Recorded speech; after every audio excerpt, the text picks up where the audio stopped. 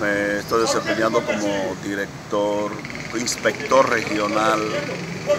Cibao Central